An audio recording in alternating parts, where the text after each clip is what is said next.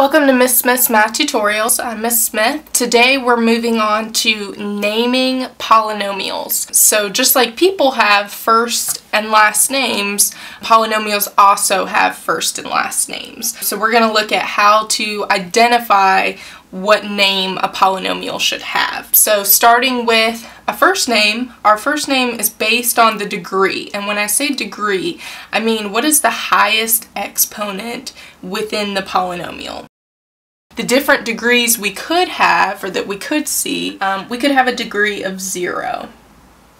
So this would look like x to the zero power, which hopefully, if you remember back from my very first video, you're immediately thinking, okay, well, I know that would reduce to just one, because anything to the zero power is just one. When we see a degree of zero, we call that a constant.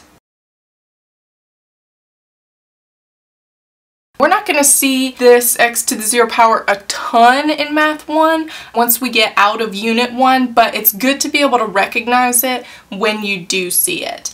So our next degree that we could see would be a degree of 1.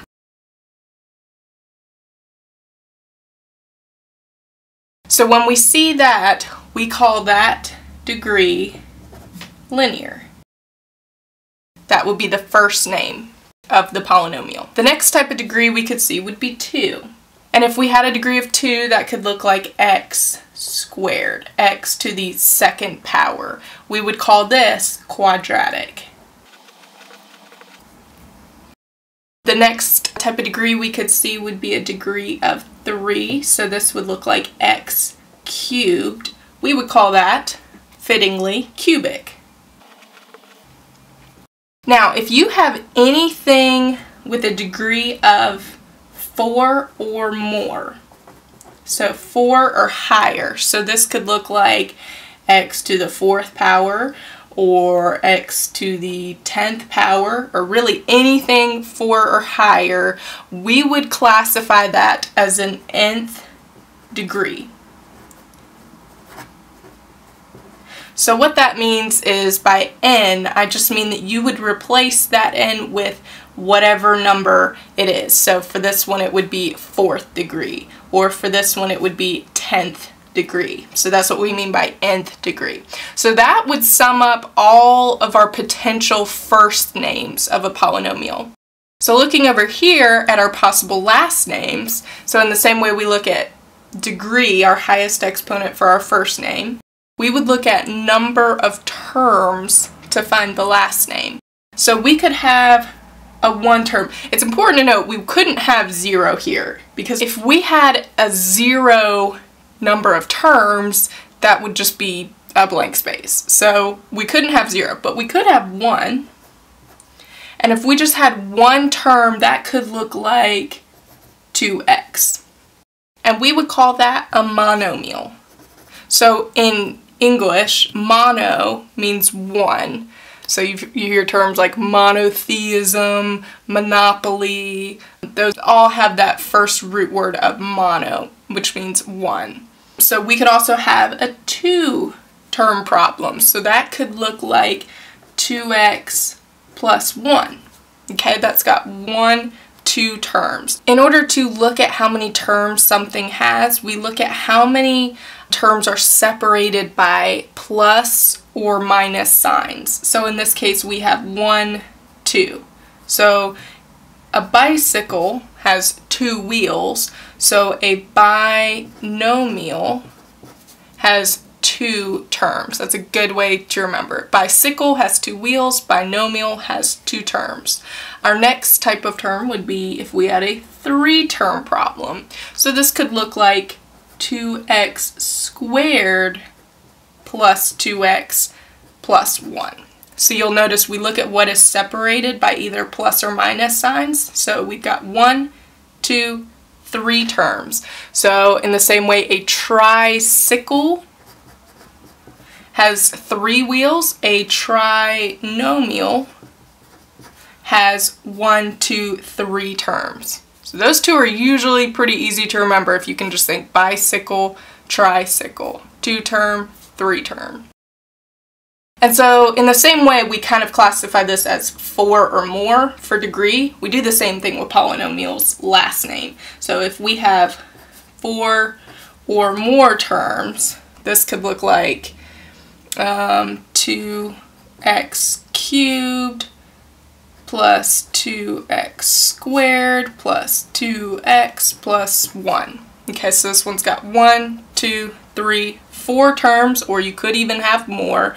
We call this just kind of a generic polynomial. Anytime four or more polynomial. So a couple things we want to remember in this naming of polynomials. The first thing is that it's not, these are not correlated with each other. These are two separate columns. So that means one linear does not automatically go with one up here. So in the same way with our names, just because your name might be John doesn't automatically mean your last name is Smith.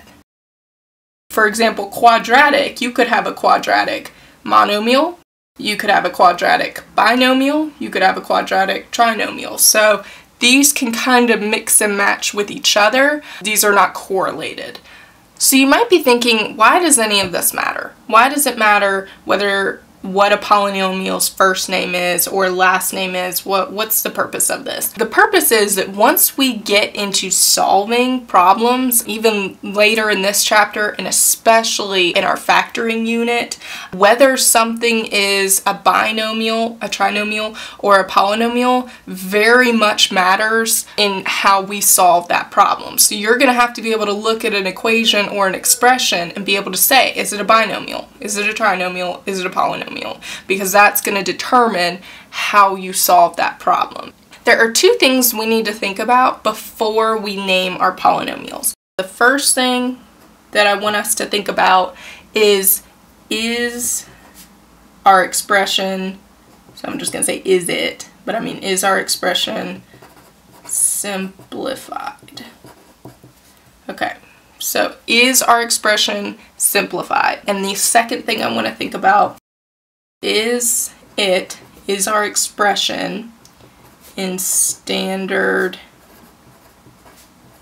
form.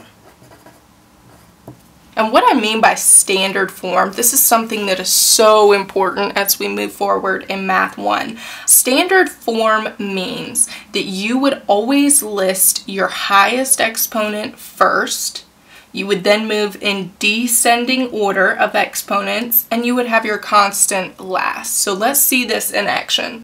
So if I had 2x cubed plus 3x squared minus 3x plus 1. This is in standard form because if you look at all my exponents, so I've got a 3, a 2, I've got an understood 1 right there, my exponents start with the highest and they move in descending order down. And then the last important part is, is your constant last. So my constant is pretty easy to identify because it's the one term that doesn't have a variable with it. So it's just either a whole number or a fraction, but there's no variable. We call that the constant and it always goes last when we're writing an expression or an equation.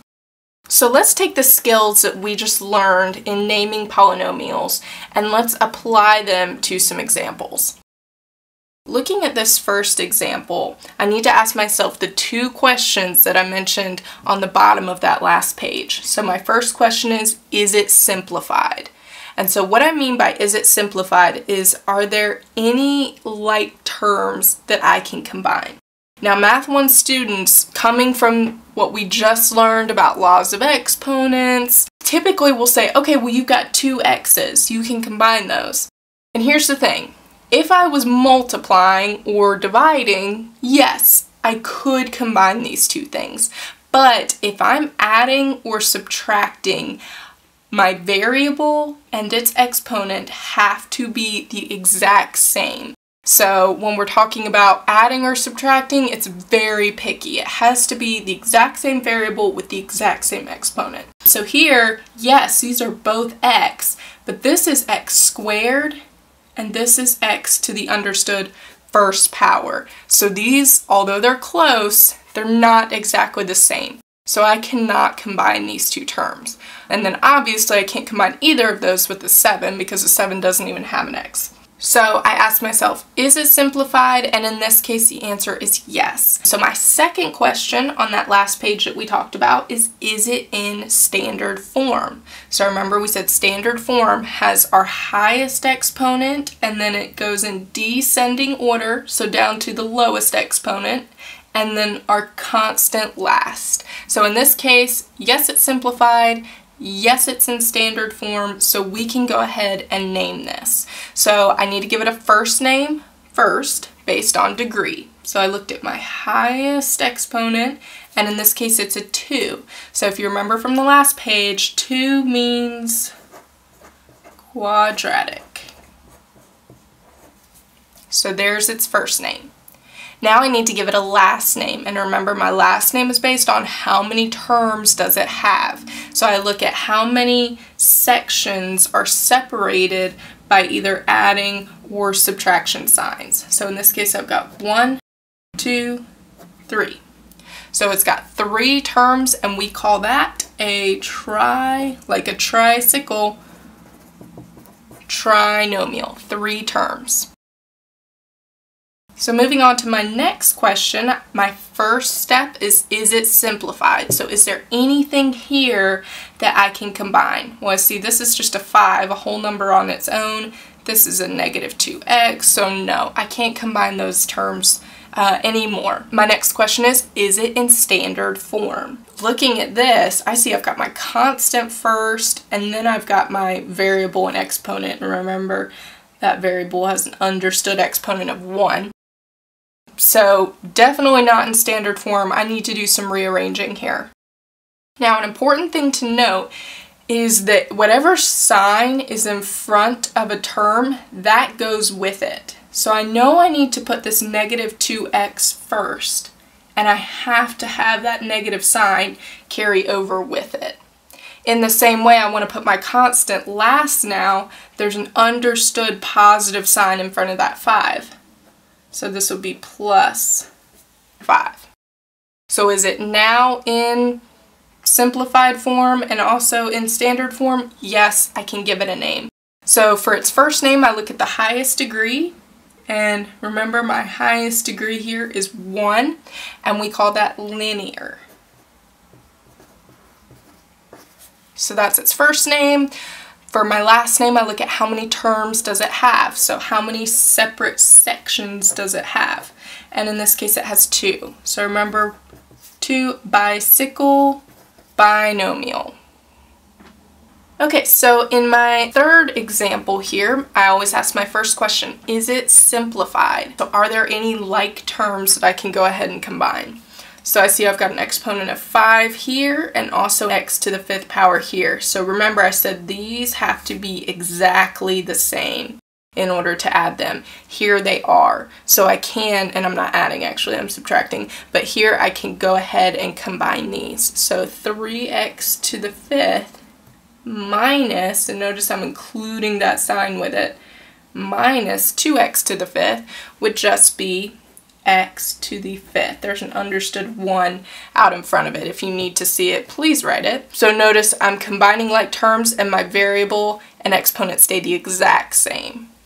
Looking at this, I see that the rest of this clearly is not in standard form, so as I'm rewriting it, I'm going to go ahead and rewrite it in standard form. So I've already got my highest exponent of 5, so let me look for my next highest exponent. Remember this one's got an understood 1, 3 would be my next highest. I've got to make sure I keep that sign with the 4x cubed. So now my next highest exponent would be 7x to the first power, which we just write as 7x. Noticed I kept that sign with it. And then lastly, I'm going to put my constant, and I'm going to keep that negative sign with it.